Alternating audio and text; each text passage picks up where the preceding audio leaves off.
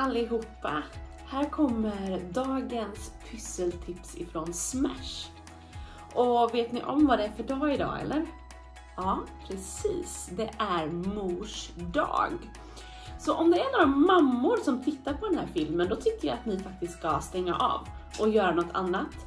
Och så kan alla pappor och alla barn få titta på det här tipset jag kommer ge er idag. För om ni vill göra någonting väldigt, väldigt roligt och fint som jag tror att alla mammor kommer uppskatta så har jag ett jättebra tips.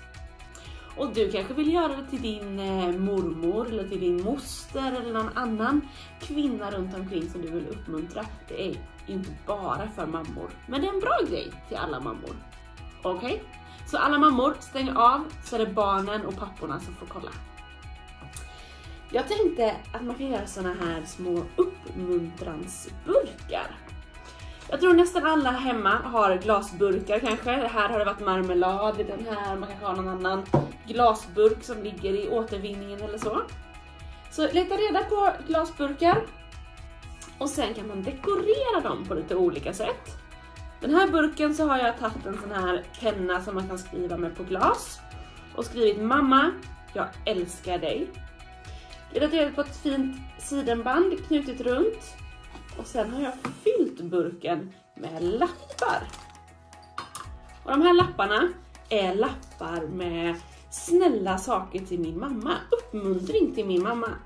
Du är världens bästa mamma, har jag skrivit där. Och lagt här i. Här har jag skrivit tack för att du alltid finns för mig. Lagt ner. Och så har jag skrivit sådana saker på alla de här, typ Mamma, du gör världens bästa köttfärssås. Eller tack mamma för att du alltid ber för mig. Tack mamma för att du alltid svarar när jag ringer. Och så vidare. Saker som du vill säga till din mamma. Så för att göra det här då, leta reda på en glasburk. Då väljer jag den här glasburken. Sen kan man dekorera med pennor, glitterlim eller kanske med klistermärken. Jag är alltid sugen på att köra med klistermärken på den här. Då hittade jag såna här hjärtan klistermärken i min låda. Sätter det på.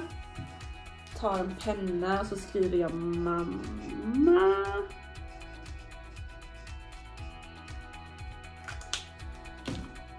Så lite andra klistermärken.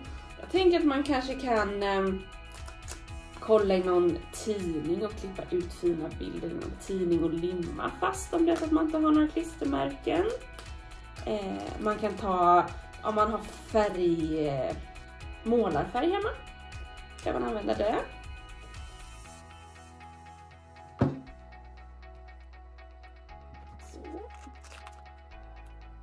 Och sen så hittade jag sånt här snöre, tyckte jag var snyggt till de här klistermärkena. Knyter runt och gör en rosett. Man kan ju dekorera burken hur mycket man vill. Skriva på den och sådär också. Och så klipper jag till rosetten.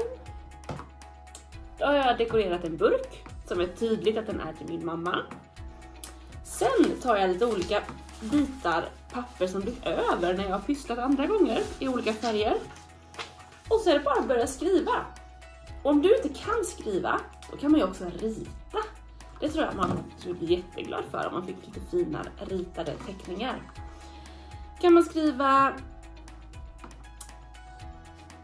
Tack mamma för att du är du. Och ska man tänka mer på sin mamma, min mamma hon är väldigt hjälpsam. Kan jag skriva det. Tack för att du är hjälpsam. Min mamma hon lagar väldigt god mat, så det ska jag skriva också. Du lagar väldigt mat. Så kan man skriva massa sådana här olika uppmuntranslappar. Klippa ut dem. vika ihop. Och lägga ner i burken. Rita grejer. Du kanske vet vad din mammas favoritgodis är. Då kanske du kan gå och köpa några sådana godisbitar, lägga ner. Eller andra små presenter att lägga ner i burken.